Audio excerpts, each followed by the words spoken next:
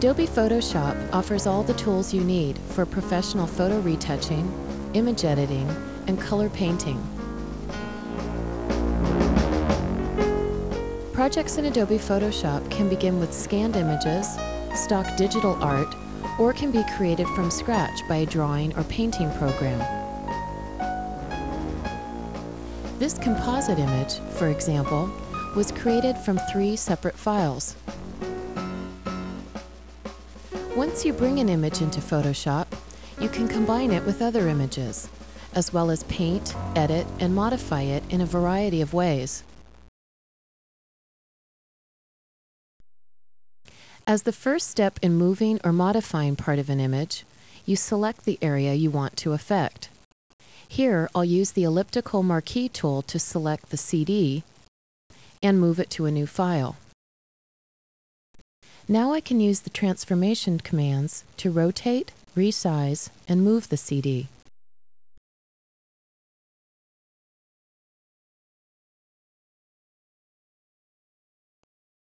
The Magic Wand tool lets you select areas that are similar in color.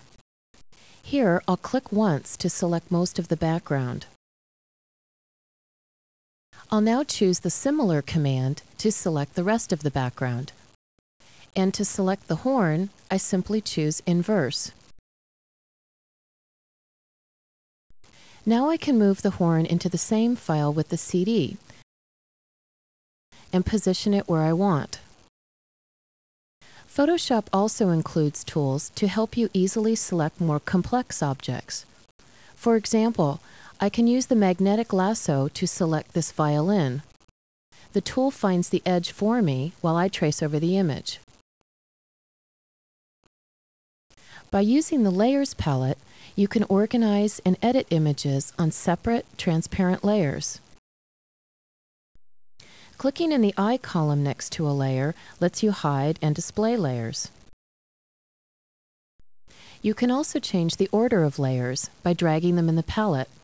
Here, I'll move the horn down by dragging layer 2. When I make layer 1 the active layer, my changes affect only the artwork on that layer. I can now move the CD separately from art on other layers. Similarly, when I change the opacity of layer 1, only the CD becomes transparent. In addition to changing opacity, you can apply different blending modes to a layer to create special effects. You can also add text to an image on its own type layer. I'll now add some text by clicking the image with the Type tool.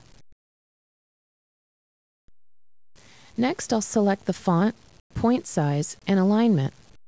Enter the text and choose the type's color.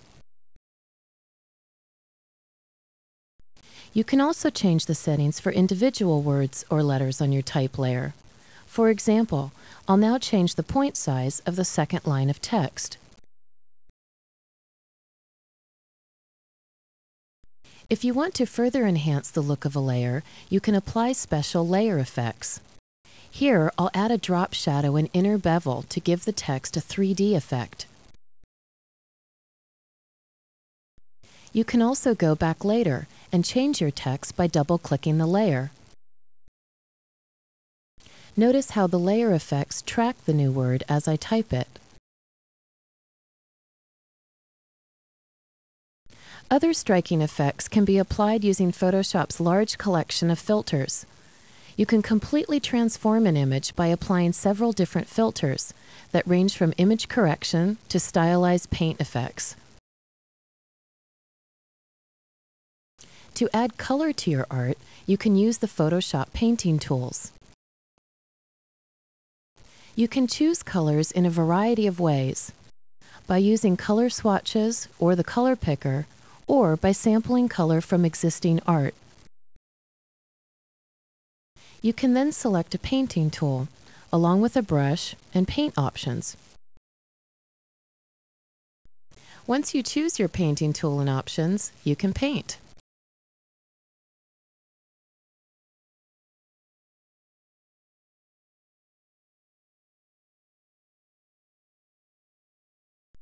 If you don't care for the results of something you try in Photoshop, you can undo your work through the History palette. Now I'll use the History palette to remove my brush strokes and back up to the last filter I applied.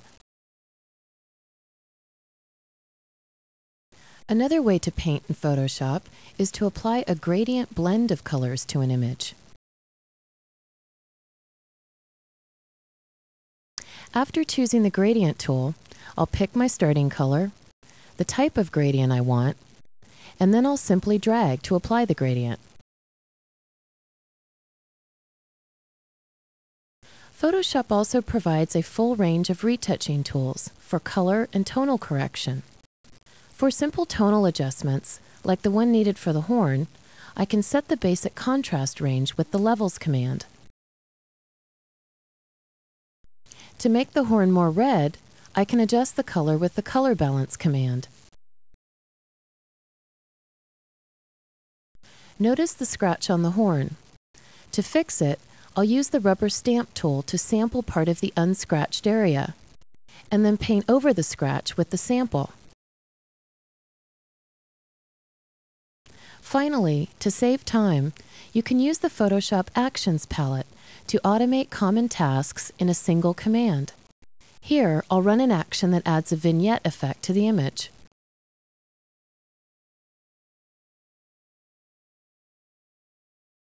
Once you've finished with your artwork, you can save a copy of the file in a variety of formats, depending on how you plan to use the art.